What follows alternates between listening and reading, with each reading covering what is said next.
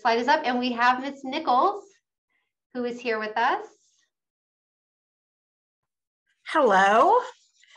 Um, thank you guys all for being here and I'm excited to talk to you about Project Lead the Way. It's uh, a four-year course. Uh, it is a national curriculum and we're really excited to have it uh, with us at Gainesville. Uh, the only class that uh, carries no prerequisite would be the principles of biomedical science. Uh, and although it is the beginning of a four-year path, we um, welcome sophomores, juniors, and seniors um, in the course. Um, next year, we'll also be offering the second year course, which is human body systems. Um, the third year and fourth year courses we will roll out as we um, as we go along. Uh, people who are in the students who are in the criminology pathway will also be taking um, principles of biomedical science and human body systems. Uh, and those will, even though they're part of a pathway, they do count um, for you as, as electives. Um, in principles of biomedical science, we do a lot of hands-on stuff. Our first unit is forensics. We cover um, a unit patient care, uh, um, epidemics and outbreaks, and then some, we do a little bit of some engineering uh, towards the end of the year.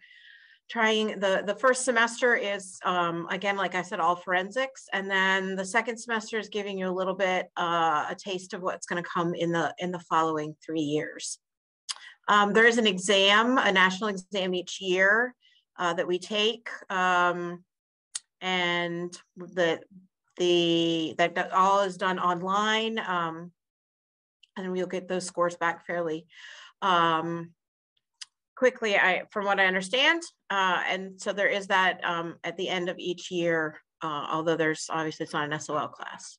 In human body systems the focus changes um, less on sort of a generalized view and more um, talking about um, although it's um, some anatomy and physiology, we'll also be talking about most of the other body systems, a little bit about kinesiology, which would be how the body works together to make movement, uh, and, and things along those lines. So we're looking forward to uh, having some folks try out year one.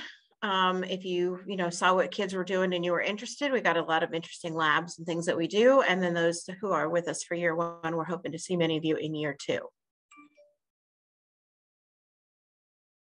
Thank you. It's a very um, exciting program with a lot of interest in that biomedical pathway in the biomedical program.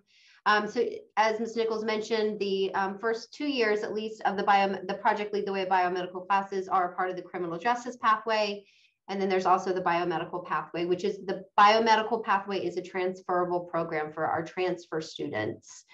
Um, something that's important to, to point out that the the Project Lead the Way biomedical science classes are actually career and technical education credits.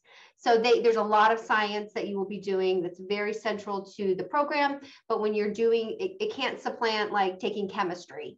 Um, you still have science classes and you have the CTE courses as well.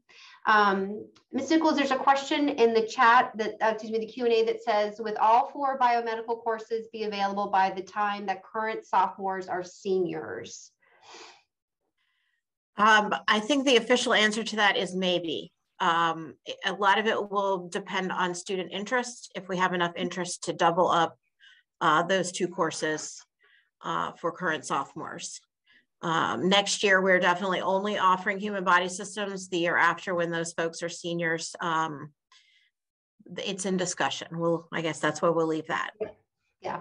And as with every of our programs, you know, student interest drives everything. Um, in terms of, you know, we've got two students that sign up for a course that isn't a course that we're going to run, but if we have lots of kids, that's an indicator that we need to be paying attention and running those those courses for for our students.